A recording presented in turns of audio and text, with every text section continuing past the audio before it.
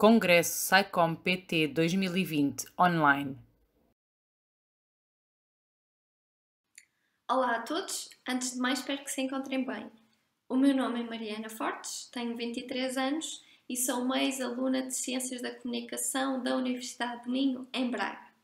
O projeto que venho aqui hoje apresentar tem como base eh, o meu relatório de estágio no âmbito do mestrado em Publicidade e Relações Públicas e que teve como tema a comunicação de ciência e as estratégias de aproximação à comunidade, no caso do INL, o Laboratório Ibérico Internacional de Nanotecnologia em Braga. O estágio que realizei no INL alertou-me para a problemática dos públicos de ciência e do modo como estes são percebidos pelas unidades de comunicação das organizações científicas.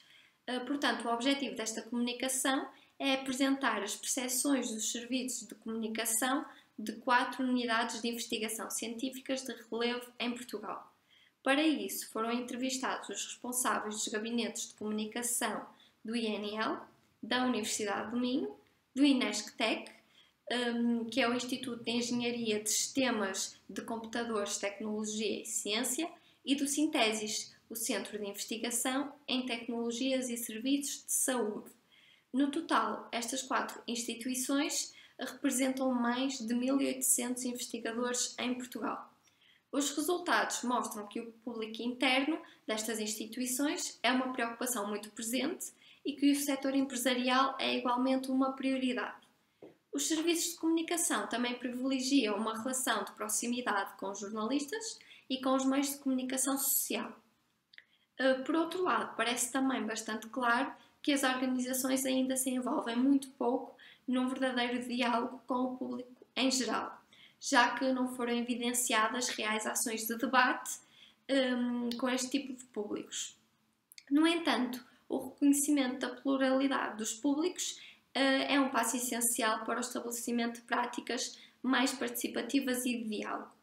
Para terminar, relativamente à pandemia da Covid-19, esta acabou por não afetar este projeto, uma vez que o relatório já estava concluído desde outubro do ano passado. Uh, contudo, poderia ser interessante explorar as estratégias de comunicação de ciência para o público escolar, recorrendo a uma investigação mais aprofundada. Uh, além disso, esta seria a minha primeira experiência no Congresso de Ciência, pelo que acabei por não poder ter esta oportunidade de conhecer outros investigadores e cientistas desta área e de conhecer também os seus trabalhos. Uh, bom, espero que tenham gostado. Uh, agradeço muito a vossa atenção. Podem consultar o meu relatório de mestrado uh, no repositório da Universidade de Minho. Alguma dúvida ou questão que tenham, não hesitem em colocar. espero ver-vos em breve.